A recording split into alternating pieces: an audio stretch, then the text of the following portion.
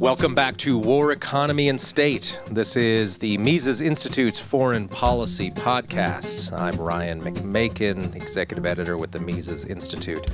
And joining me, as always, for this podcast is Zachary Yost, one of our preferred foreign policy writers and just general experts, especially on Eastern Asia, which is why I bring him in because I know so little about Eastern Asia. So uh, we're trying to give you a good, uh, uh, well informed, well rounded view of a variety of different regions through this podcast. Uh, but this time, we're going to look a bit more at domestic politics. And I think we're just going to start off with talking about the debate from last week, the GOP debate up in Wisconsin. And, you know, I hate debates, actually. I think they are uh, mostly for performance. It's really about uh, candidates saying all the things they'll do. And so you get more points from being an activist politician than from saying, well, I'm going to stop that stupid idea. That never seems to get applause. And also, the people in the audience are always like big time GOP donors and activists, and there's absolutely nothing normal about the, the people who sit in that audience. So, all the applause is always BS. And I'm always reminded of how uh, Ron Paul once, uh, when he was being criticized for his anti war positions, noted that Jesus, one of his titles, was the Prince of Peace, for which he was re- soundly booed by the Republican audience. So that's the quality of people that go to these things. But nevertheless, the uh, debate can be useful for drawing out some of the opinions of some of these candidates. And so I think we're just going to go through and, and rank these candidates on uh, less bad to absolutely horrendous, I think maybe will be the scale we will use. And Trump wasn't here, of course, at uh, that debate. So we'll kind of have to talk about him a little bit separately. But uh, just looking at my general impressions of the debate, uh, I'll just come right out and say I thought that the least bad was Vivek Ramaswamy. Uh, and then behind him, uh, not as good, was Ron DeSantis. And then everyone else was, was terrible. And probably the most despicable of all was Mike Pence, who's just horrible on every level. I mean, the guy just oozes slime. Uh, so. Uh, that was my general idea uh, of these candidates. And three topics really came up during the debate, which was Ukraine and uh, U.S. support for Ukraine, monetary and military. The general attitude toward China came up. There weren't a lot of specifics about uh, Taiwan policy discussed. But nevertheless, you get an idea from the candidates as to uh, how much do they think the United States should antagonize China. And then the other issue was, and, and this often isn't regarded as foreign policy, but it is, was the the topic of military action in Mexico, where uh, DeSantis, uh, for example, was saying, "Yep, we're going to launch missiles into Mexico. We're going to do all sorts of military intervention to um, to cut back on immigration and drug imports and all that sort of thing. And so that. Uh, I think is an important issue as well. Um, yet again, the the American tradition of humanitarian interventions, which is, as I'm sure how that would be phrased, um, another stunning success. I'm sure uh, it will be the latest humanitarian intervention if that uh, is pursued. So we'll just talk out generally here, and then I think we'll we'll uh, uh, we'll go into uh, some of the details about why we rank these people this way. And so, Zach, what were what were your general impressions of these candidates? And uh, uh, like you know, from least bad to horrendous. Uh, yeah, I was exactly the same as you, Vivek uh, DeSantis. I'm not sure if I'd say Pence was the worst or Nikki Haley. They were both quite horrible, but uh, it's the only area I differ. Um, yeah, that was my general impression. I'm I'm actually quite stunned at uh, the stances Vivek has taken publicly, not only in the debate, but before that, at his big foreign policy speech at the Nixon Library about the, uh, I think it was the Thursday before the debate, uh, where I had not paid attention to him at all uh, until someone I know said, Oh, Vivek is giving this speech on the new Monroe Doctrine which the audience might recall, we did a episode on, and I uh, wrote a paper at, for the Libertarian Scholars Conference. So I was like, oh, well, this could be good. And uh, at the at that talk, he was, I mean, he was on fire. I couldn't believe it. I mean, with politicians, it's always pandering. I mean, when people express, you know, I mean, Vivek, uh, I can understand why some people don't like him and his attitude, but the way I frame it is you don't need the prostitute to love you. You just need the prostitute to be good at pretending that they love you. And uh, that's how I view politicians. And it's nice to be pandered to for once, uh, you know, and and I think Vivek is doing a lot of pandering on Ron Paul's birthday. He was like, Happy birthday, Ron Paul. We need to complete your revolution. I don't know to what degree he's a true Ron Paul fan, but it, it's encouraging when politicians think they need to say those sorts of things to you. So I'm excited to see what happens there. And there are some other changes in the GOP I'm sure we'll talk about that I think his rhetoric reflects. Well, speaking more generally on these just who are you going to pander to and when and why. Uh, Tho Bishop had an article last week, right, on as a follow up to the debate and looking at, okay, well, knowing that the Trump wing of the rank and file in the party is not something you can ignore, are you going to pander to it or not? And so it's clear that Vivek wants to capture that part of the party rank and file. Um, and he's better than Trump on foreign policy. And uh, clearly is trying to hit all of those same uh, positions in, in one way or another. And that's what Tho uh, noted in this article, in that uh, those top candidates are people who at least have something Trumpian about them. Uh, Ron DeSantis is the same way, and Ramaswamy is actually better than DeSantis. I think at, at kind of hitting um, those those Trump positions uh, and doing so in a convincing way. And that may just be due to the fact that Ramaswamy doesn't have really a political history and he doesn't have loyalties to any existing power structure and things like that.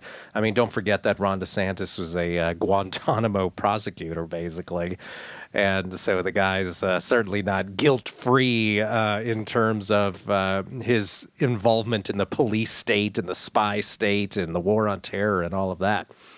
But uh, looking at that, then, yeah, you can see how some people are seeing there is real value toward uh, positioning themselves as the Trump type candidate. And you're really seeing that, I think, in terms of uh, foreign policy. And Glenn Greenwald, uh, a few days ago, had some similar comments on uh, when he was on a podcast talking about, hey, look, all the top candidates, there are these people who are expressing anti imperial views for the most part. Uh, and they're, of course, then being horribly attacked by uh, the mainstream GOP establishment on that, which is, again, who is mostly actually at the debate. And so it is just very interesting to see uh, the positions that that they're taking. That there is actually a debate within the party. Now, how much of an honest debate it is? I mean, how would that translate into real changes if someone took office? Uh, it does make a bit of a difference, I think. I, as as you said, right? If you have someone who's going into office and he has decided that the governing coalition he wants to have that is, where is he going to draw his support from? And he's going to have to draw support from then people who he promised to have less crazed and aggressive foreign policy. If that's what you have decided is going to be part of your message, it's going to be difficult to completely abandon that. Uh, that doesn't mean he wouldn't then the, the, CIA comes in and sits him down and says, well, you can't just leave Ukraine. You have to do X, Y, Z. I could see obviously Ramaswamy caving on that uh, to some extent.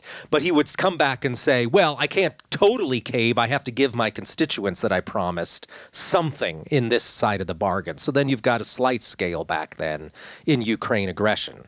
Whereas if you had Mike Pence or Nikki Haley in there, they'd be like, "Yep, I always uh, promised to just escalate the war in Ukraine. Thank goodness the CIA's here to give me additional reason to do so."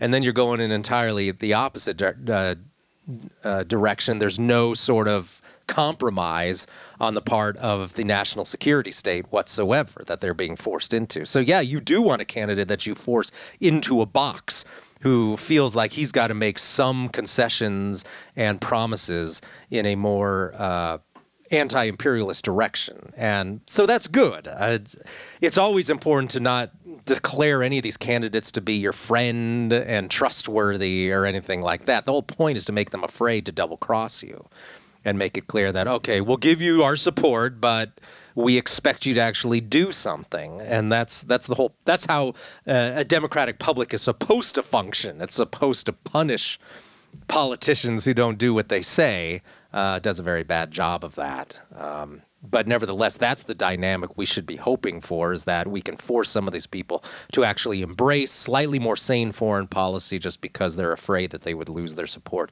and money because of it. Whereas some people decided, oh, screw Trump, hate him, don't want to uh, uh, have that as any part of my governing coalition. So there's your Haley and your Pence and probably your Christie uh, candidates there, and that's that's how it's going to go uh, moving forward. And we didn't really say where Trump was in our rankings, by the way, but I should note that I think Ramaswamy's way better than Trump uh, in terms of he's far less ambiguous about the sorts of things he's uh, willing to say about foreign policy. Whereas Trump, I don't know if Ramaswamy said anything about Iran, but Trump, of course, is so bad on Iran and on China and just like aggressiveness in general um, as long as that's his stance. And then, of course, uh, Trump was just embarrassing himself with the way he was slobbering all over the dictators of Saudi Arabia when he went there. So he's got lots of bad stuff in terms of his foreign policy. Whereas if you could. Uh, if you could really get Ramaswamy repeatedly on the record making these sorts of promises, I think that would that would be good. But DeSantis isn't going to go as far in that direction, but he would certainly be an improvement over Biden or um, any of the Republicans other than maybe Trump or Ramaswamy. Right. So, so two two points. One is that uh, you're spot on on whoever gets in the White House is going to have a huge bureaucratic machine working against them if they want to change foreign policy. And that's what I loved about Vivek's rhetoric so far in foreign policy is he has staked out a view so far in my direction that even if he only got a quarter of it done, it would be a huge improvement. Um, is my sort of view. So he's he's so far in what I view as my direction that he can't wiggle out of it uh, unless he's just you know gonna lie. On DeSantis, just to be clear, why I'm was displeased with his performance when they finally got around to talking about Ukraine, which was right around the hour mark, uh, they said, raise your hand if you want to stop sending aid to Ukraine. Vivek raised his hand, and DeSantis sort of waved his hand around and talked, and then Bret Baier was like, so to be clear, what, what are you saying, basically? Do you want to stop the aid? And DeSantis did not say, I want to stop the aid. He said, Our aid has to be contingent on Europe stepping up. So that's a very different position. And um, we have a perfect track record of letting the Europeans free ride all over us. And I have, I mean, uh, I think Tho has mentioned this in the past, and like people like Dan McCarthy have come out and said that DeSantis behind closed doors is more in favor of restraint but his rhetoric in public and how he was he took a strong stance against Ukraine, then he walked it back.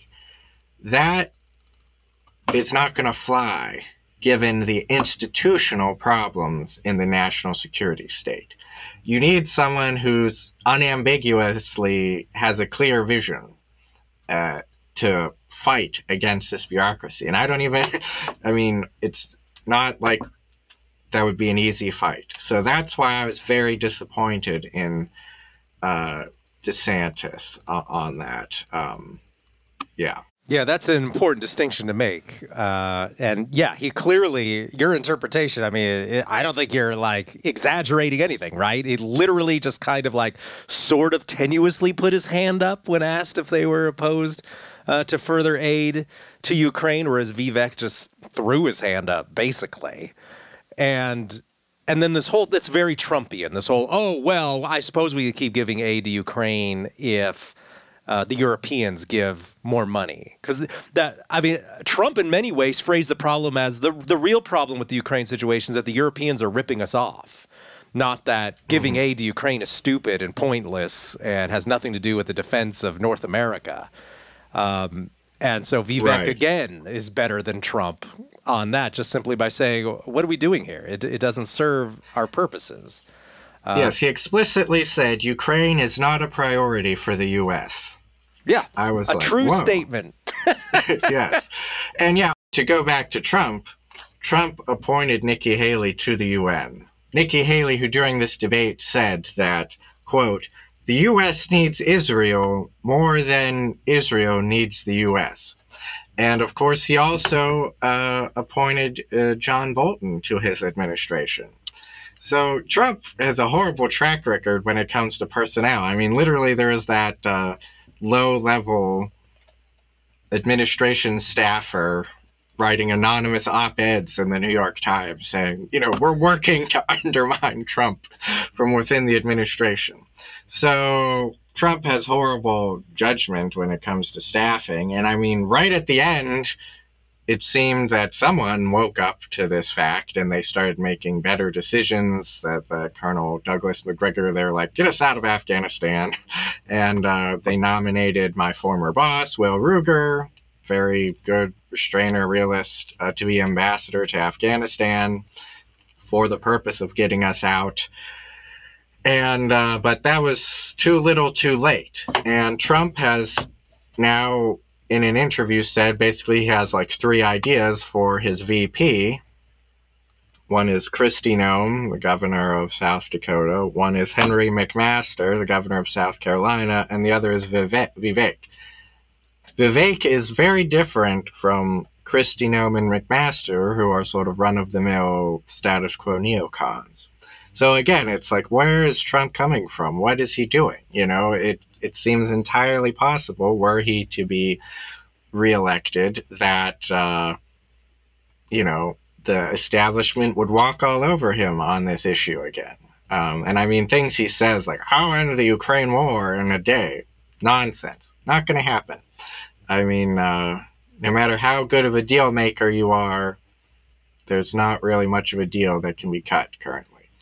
Um, so yeah, I now when it gets into the actual practical politics, I'm not too optimistic Vivek can win the primary.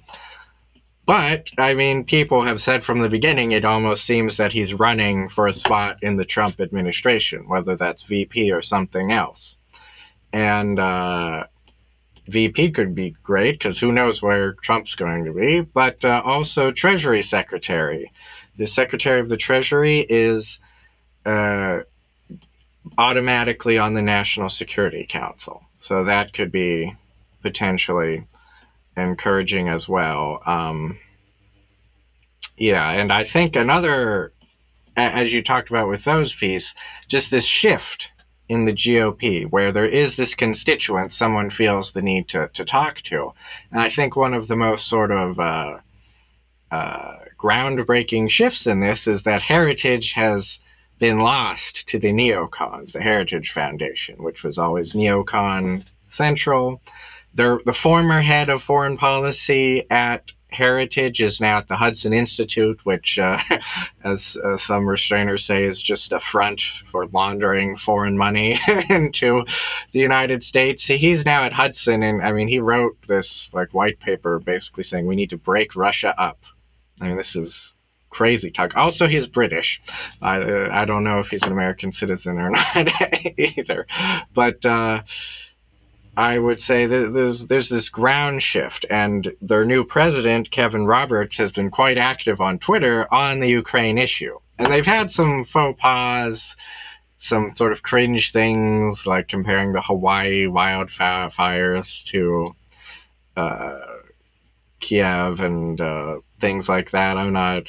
I mean, who knows who's running their social media. But Kevin Roberts' Twitter, which he now follows me, by the way, after I dropped uh, an, a piece I wrote that came out in the uh, in Law and Liberty, which is a Liberty Fund's publication. Someone there had wrote a piece saying that all of the arguments against further aid to Ukraine are feeble, and uh, I wrote a 2,000 word essay arguing, you know, that's not the case, and here's why. Uh, so I think it's good that Roberts thought my argument apparently was good enough to follow me back on Twitter. I mean, I'm not exactly in any way a neocon, so I think that's an encouraging sign. And there was also, I don't remember if it was in Politico or where it was, but basically talking about how Heritage has been working super closely with DeSantis to the extent that the DeSantis campaign uh, has like heritage people like gives them access to like speeches that DeSantis is going to give. And he, they are apparently the ones pushing him on Ukraine to be more, you know, in Vivek's direction. So, um, and I did not see it, but I read that it would be happening there during the debate.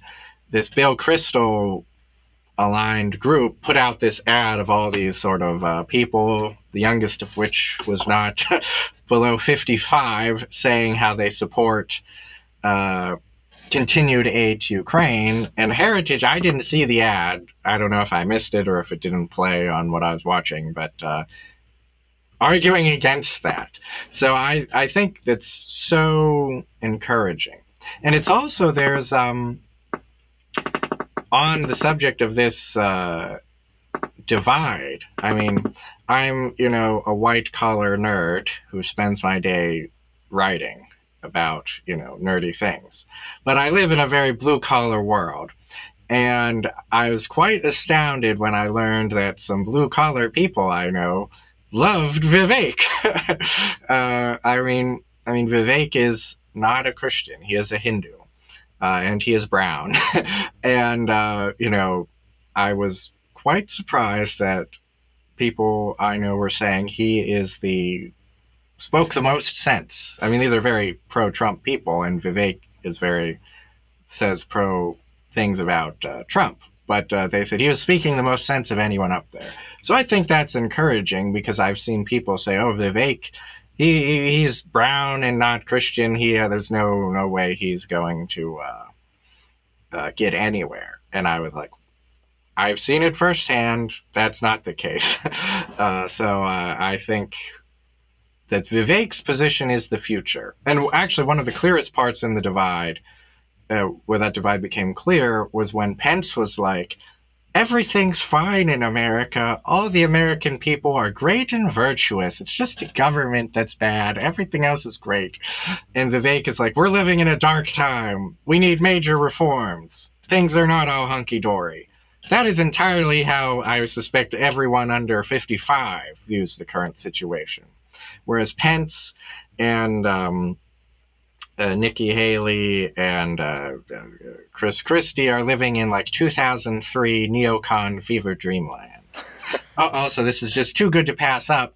Chris Christie did go to um, Kiev and meet with Zelensky, and it didn't get brought up in the debate, but Chris Christie literally gave Zelensky a, a handwritten copy of the lyrics of um, of uh, uh, uh, shoot, what's it called? Uh, uh, Keep on Believing or whatever it is by uh, Bon Jovi.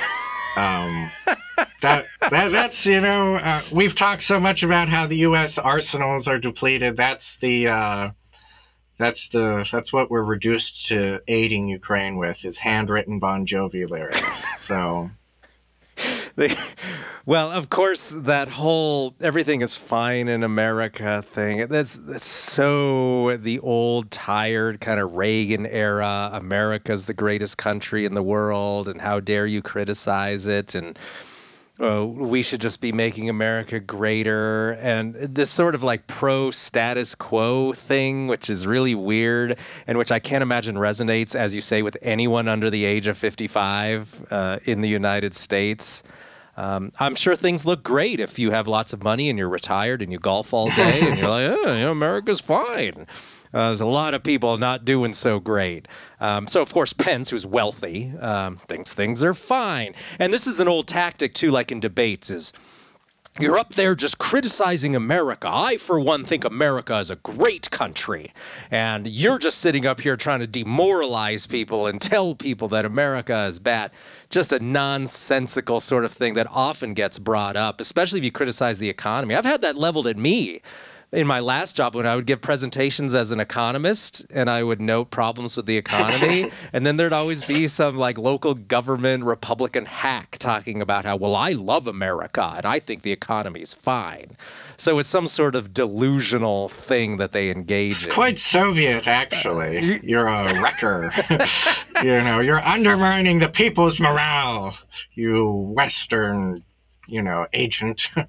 right. Well, that was that was a formal Nazi crime was demoralizing the troops by uh, by criticizing them any military action. So yeah, you got to accentuate the positive at all times. Which, by the way, as um, uh, some research about World War II uh, has shown was basically a de facto slogan uh, during World War II was you weren't allowed to criticize the war effort at all. You had to accentuate mm-hmm. the positive. So the old timers on uh, the debate side of this clearly think that's a thing and all, all that needs to be done is like some minor chipping around the edges and you notice this also we've talked this about this in the past about how when you're a true foreign policy hawk you never have to prioritize anything that mm-hmm. there's always room for another war always room for more military spending and that was a point that uh, pence made in his comments with um, tucker carlson Yes, where yeah. he's like, well, uh, we can also we can both fix all the cities and fix drug problems and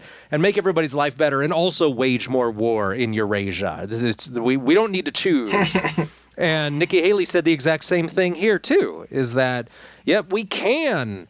Uh, do all these wonderful domestic things and then also fight a huge war in Ukraine. And so it's it's just never ever suggest to me that there are priorities and that there are limits to the power of the American state. We can always do both and everything all at once, all the time, and cost is no object.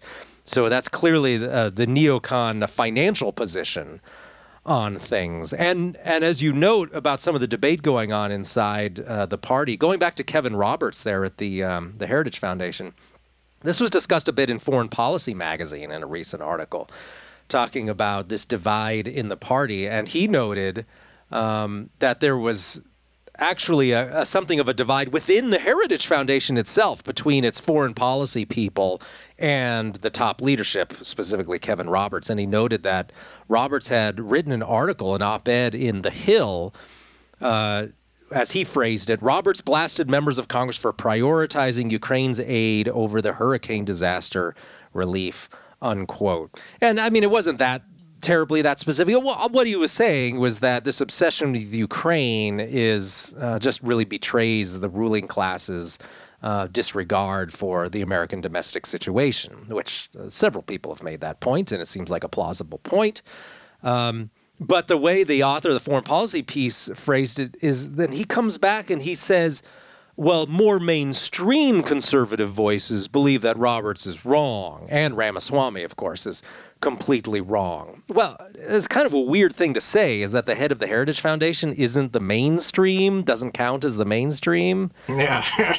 uh, I mean, it's the definition of the establishment. Exactly. on the right in DC. And so then this this reporter then goes and he quotes a former admiral named Mark Montgomery with this hardcore neocon organization called Foundation for Defense of mm. Democracies. And and so then he quotes Montgomery several times, saying, "Then, well, really, uh, anybody can see that uh, democracy is under threat, and this is this is the red line that we have to establish in Ukraine, blah blah blah.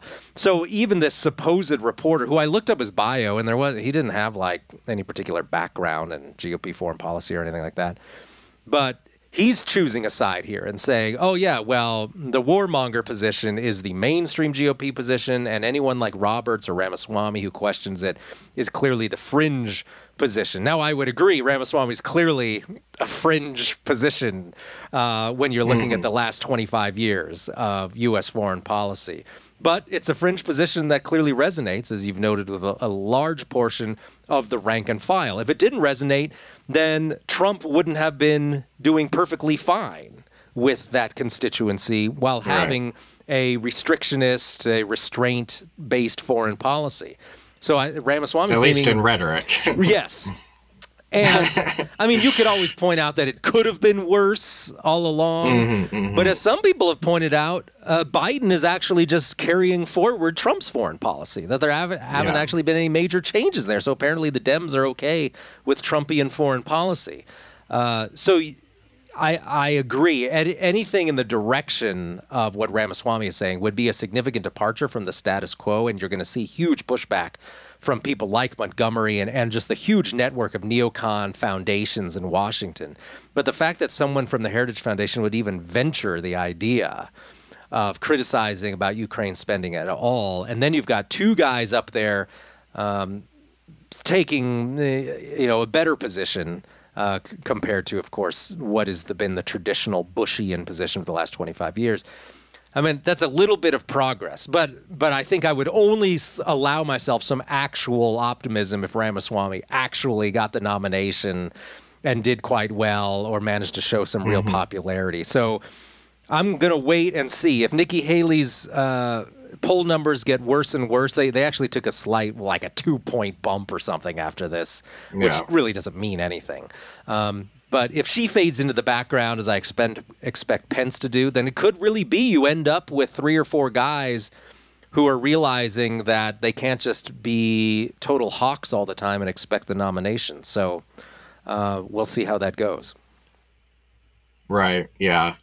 The um, it, I've already, I mean, it's unfortunate, but I've already seen Vivek doing a little backpedaling on the issue of China and Taiwan. I was ecstatic during his Nixon Library speech because he basically was like, we're going to retrench from Asia.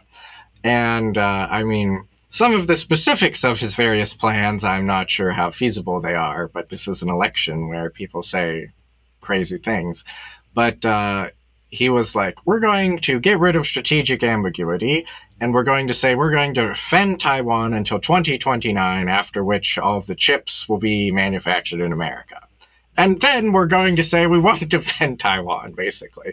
I was like, oh, this is great news. I'd definitely take that deal. You know, we're going to retrench from from Asia. I mean, this sounds amazing. And you use, you know, the, everyone over there needs to step up to contain China. Well, then uh, on Twitter, he was like, you know, we'll go back to strategic ambiguity after 2029.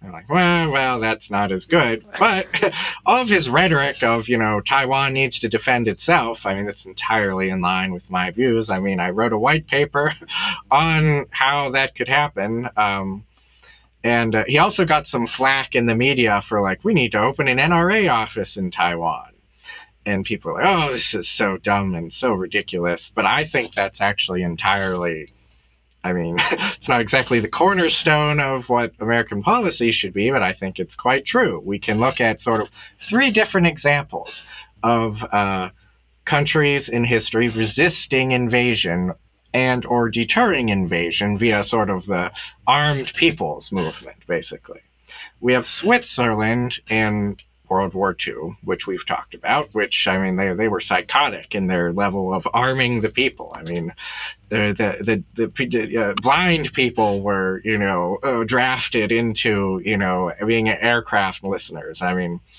it, it was just like, there was such a lobby within the country of like the government needs to distribute more arms and ammunition so that grandmas can run out and shoot paratroopers, uh, and it worked uh, Switzerland successfully deterred the Nazis, the Axis invading.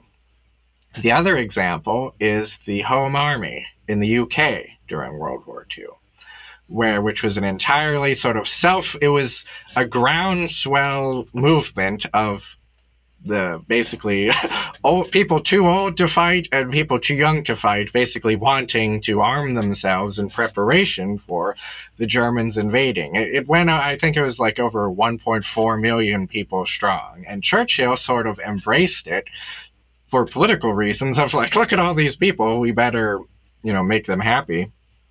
I mean, it was a huge sort of popular led movement. And then we can contrast that with the Volkssturm, I think it was called, which was the Nazi movement to arm the people to resist the Soviets. And you'll keep in mind the Nazis enacted strict gun control. There's a book on that um, by uh, uh, blanking on his name, but he's done at the Independent Institute. He's done a whole bunch of work on gun control in Nazi Germany, gun control in occupied uh, uh, France, all sorts of stuff. But I mean, there's mass gun control in Nazi Germany. Then it's like, oh shoot, we're being crushed by this ginormous Soviet army. So they were just arming the Volkssturm. It was sort of they were forcing people to, you know, fight with, you know, weapons with which they had no familiarity. It was all crap anyway. I mean, I mean, it's. I think it's actually I'm unknown how many casualties the Volkssturm had, but it was enormous, especially in places like Prussia, where I mean, those were Germans who lived there for hundreds and hundreds of years, and you know, the Soviets were just, I mean, ethnically cleansing them basically. Uh, so I think we can see where, where's Taiwan look like. Taiwan does not look like Switzerland, and it certainly doesn't look like the UK in terms of having this mass popular support to resist the invasion. I mean, on in polls they say they want to, but in reality, their draft is a joke. Uh, there's this Wall, Wall, Street Journal piece, uh, I think in 2021, where they were like, people were interviewed and they're reserve, reservists in their tiny amount of training. They're like, I spent all day moving tires around, raking leaves, or watching American war movies, you know. So I think uh, Vivek spot on to point that out, that culturally is Taiwan prepared to defend itself, I'm increasingly doubtful. Yeah, I don't see why that's such a crazy idea. Is to t- if how has this not always been uh, a typical instrument of foreign policy? Is well, in exchange for all the money and freebies we give you, we're also going to try and influence you uh, in terms of your yeah. own views and use our own soft power, or maybe to get you to be more like us. Um, it's uh, now, of course, being a non-interventionist, I uh, I'm just generally against spending money on Taiwan. However, I just don't see how it's any worse to try and convince them that they should arm themselves. Uh, it's just anything that's just out of the norm is just con- condemned by the GOP establishment. It's just crazy. And, and, that's the other thing. Taiwan, at least until now, has been buying weapons. uh, you know, I mean, we give away tens of billions of dollars in military aid every year. But uh, including to Egypt, we give them like $4 billion a year, and they're like trying to sell 40,000 rockets to uh, Russia. But uh, Taiwan at least buys its weapons. I mean, I mean, there's dispute about like, oh, you want to sell weapons to Taiwan? What are you, a neocon? I think it's good to sell weapons to Taiwan, you know, and uh, uh, much it's definitely at least an improvement over just handing out pallets of cash so people can. I mean, really, it's like credits. Here's a uh, Northrop Grumman credit to buy stuff from our, you know, lobbyists who are entirely captured us. That was another great line from Vivek when he told uh, Nikki Haley, "Oh, you're going to be on the board of uh, Northrop Grumman or whoever," which also apparently she was like next to bankrupt, uh, like in like 2018 or so, and after she left the Trump administration, now she's declared millions and millions of dollars in assets, giving you know hundred thousand dollar speeches or whatever to these interest groups. So, which I mean is just really it's open bribery. These have seen. Yeah, it's clear where she comes down on that, and that she that's who her friends are is uh, the Pentagon, the weapons industry. That's just so much of her career has been based around that. And so it's no surprise then that she's a China hawk. Um, Pence, of course, is. Christie.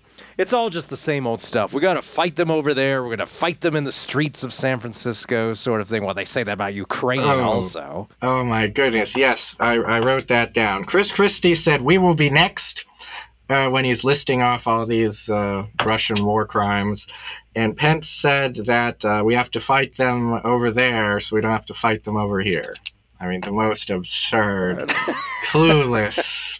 I mean, uh, I can't wait until these dinosaurs are extinct when it comes to running U.S. foreign policy, because these these are just absurd canards that are so detached from America's security. And I mean, it's so refreshing, even if it's 99% rhetoric, to hear someone like Vivek saying, America's Monroe Doctrine, you know, Western Hemisphere, that's what we need to focus on. And uh, I eagerly await the day that happens. Well, you know, if I'd been there, I would have asked, uh, please uh, uh, detail for us how exactly this Russian invasion of North America would take place. Um, tell me where the boats are that they would use for this. Tell me the, the, the airplanes that they would fly to North America to bomb Americans uh, without us noticing that they were approaching, by the way.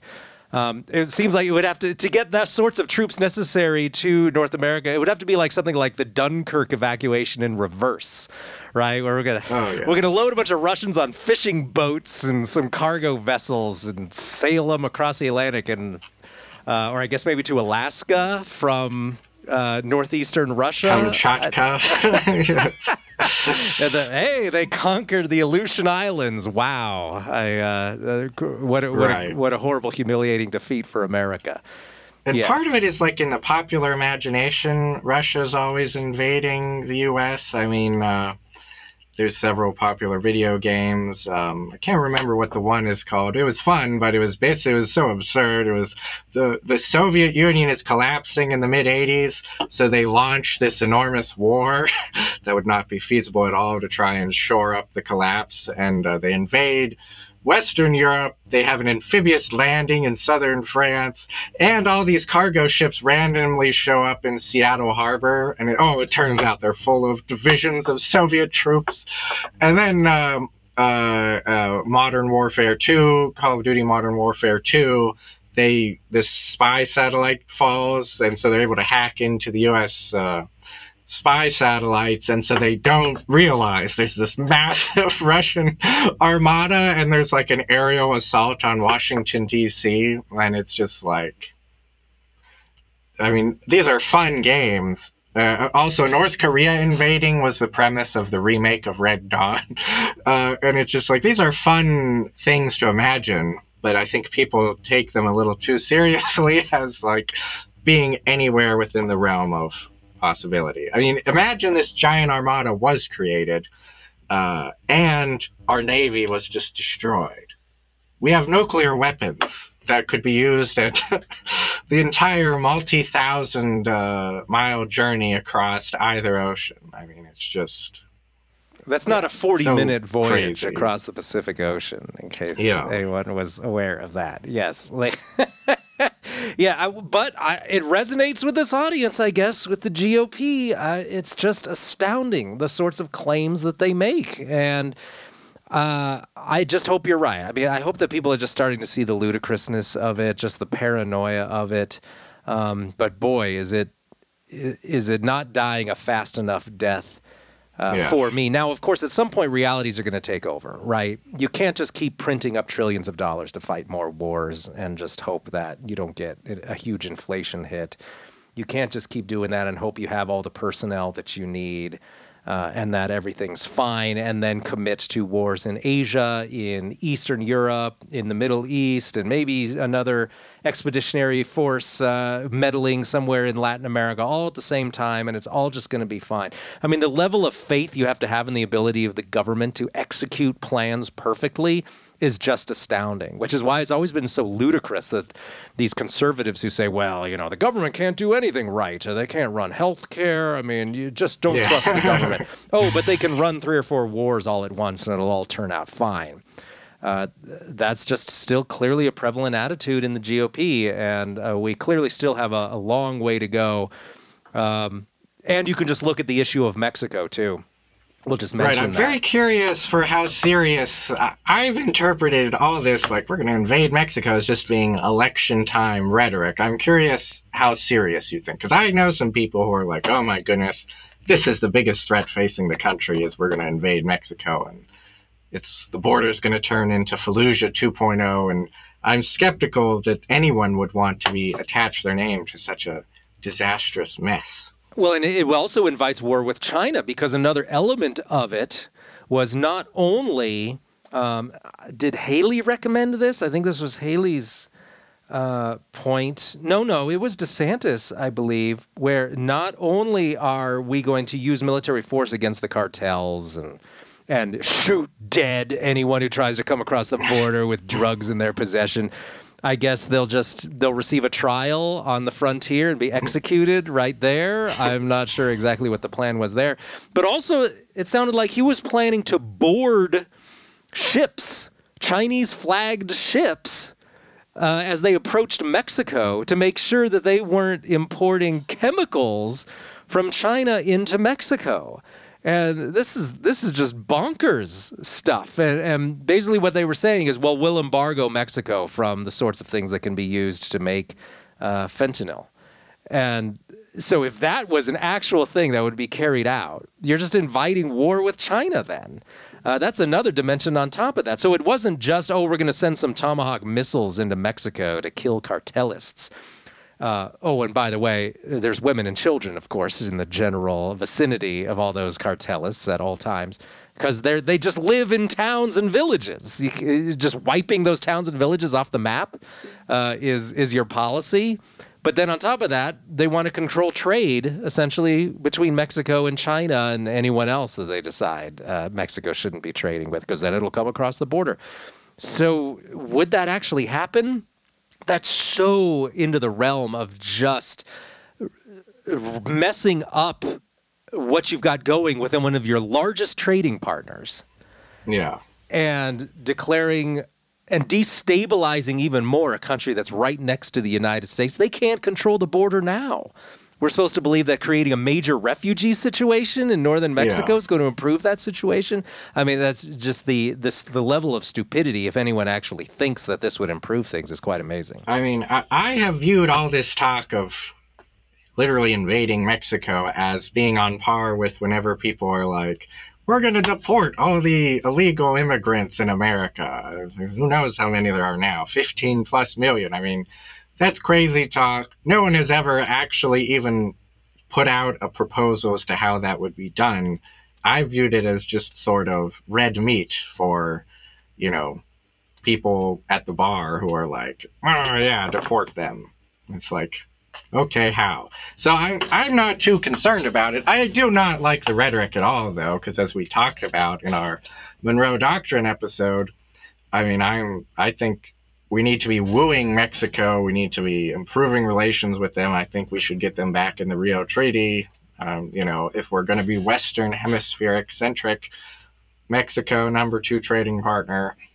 Uh, you know, not to mention how many people of Mexican ancestry live in the United States. We should be trying more for the kumbaya approach. And I mean, of course, there's no discussion of how American domestic policy on drugs and immigration is why the cartels are so powerful. I mean, it's a perfect bootleggers and Baptist situation. Um, you know, I mean, we could help undermine the cartels by reforming drug policy, by, you know, any number of things. But well, and that's one of the uh, a, a, good comment by Vivek was, um, well, it was a bad comment by Haley, where he was he was talking about right cutting back support for Ukraine and uh, Israel and all of these far away U.S. allies, and instead, so then Haley comes back and says, "Oh, you know, don't be so delusional as to think America doesn't need friends." um, we need to have all of these friends. And yet at the same time, then they turn around and they have no interest in making friends with countries that are right in our backyard and are far more important yeah. friends. Mexico is a far more important friend than Israel. ever Right. could be. Um, because Israel just simply doesn't help U.S. interests very much. Uh, whereas Mexico, Yeah. of course, helps U.S. interests a lot. Being friends with Brazil, Argentina, all those countries, having back to the Monroe Doctrine thing, right? Having your close by neighbors be in a very close trade and diplomatic relationship with you is what's important. But the Republicans are just more interested, for the most part, the establishment, in being friends with countries like Saudi Arabia uh, or Right, useless uh, yeah. countries like Ukraine. I, I mean, it's just really amazing. Uh, They, they only define their friends as countries that just happen to support NATO expansion or some other sort of war hawkish position. Actual defense, friends in service of actual defense of North America don't seem to actually be any concern to them. Right. I mean, my one of my essential foreign policy mottos, like I, I, I should get it tattooed or something, is uh, states don't have friends, only interests. I mean, I, I hate this foreign policy by friendship. I mean, it's so so ridiculous, and it also, I mean, it flies in the face of a century of U.S. foreign policy. You know, we had the treaty with France, thanks to the Revolutionary War uh, they invoke it. Revolutionary France invokes it, and George Washington just tosses it out the window. I mean, uh, uh, of all the friends we've had, you know, France played a huge role in our becoming independent, and we just tossed them out like an old shoe, which is how international politics works. You know, it's it just uh, make drives me crazy when people are like, "Oh, we're abandoning our friends," and yeah.